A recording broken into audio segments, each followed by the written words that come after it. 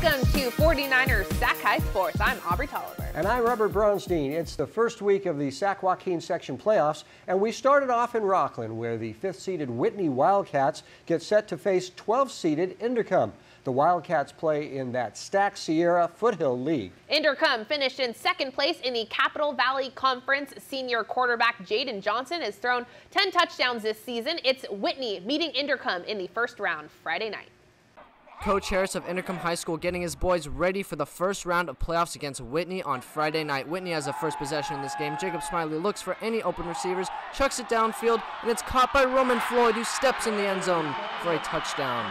Inderkum now in possession. Jaden Johnson looks to pass, but Carson Phillips makes a nice one-handed interception to get the Wildcats the ball back. Coming off the interception, Jacob Smiley takes a snap, and finds Roman Floyd again. Floyd is going to take this one all the way into the end zone to extend Whitney's lead over Inderkum 14 to 0. Inderkum trying to answer back at the end of the first half.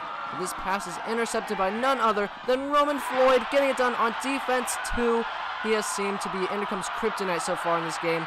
He's going to take this one all the way from their own goal line to the end zone on the other side of the field for a pick six to end the first half. Inderkum has the ball to start the second half of the game. Ricky Cole scrambling around trying to find receivers, decides to get rid of it, and it is picked off by Phoenix Rose. That's the third Whitney interception tonight.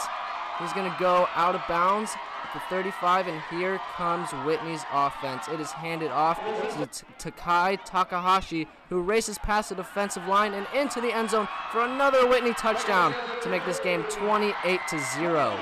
Inderkum in the red zone. Jaden Johnson drops back, and his pass is, you guessed it, intercepted by Roman Floyd again. Coming off the interception, Lorenzo Young takes the ball in the backfield, breaks the tackle, and is off to the races. He is tackled into the end zone for a touchdown. Whitney is advancing to the next round of playoffs as they beat Inderkum 35 to 0.